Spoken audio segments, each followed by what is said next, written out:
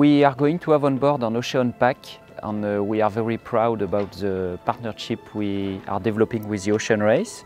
The goal of uh, this OceanPack is to collect ocean data it is very important because uh, with our boat, with Go Circular campaign, we are going to sail in some areas where almost nobody goes. So it is very important to be able to collect ocean data from these places to help the scientific community to understand what happens in our oceans and to try to understand more about the climate change.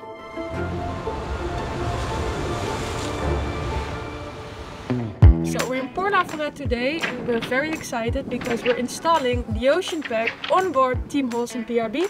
Come with us on the boat and we're showing how it works.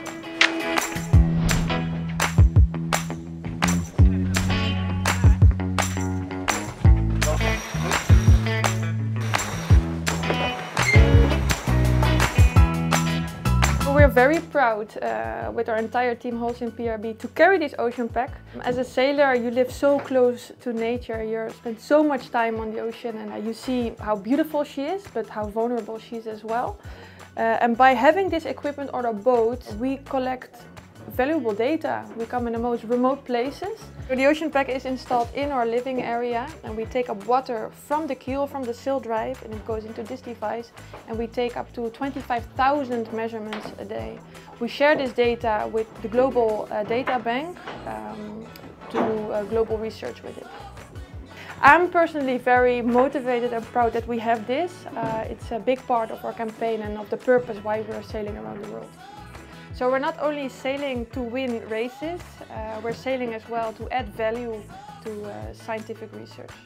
So with these new tools we are going to measure the sea temperature, the carbon dioxide and other variables of course. And the goal is really to try to understand the link between the ocean and the climate change because the Earth is made by 75% uh, of, uh, of oceans, so it is very important to understand exactly what happens in our oceans.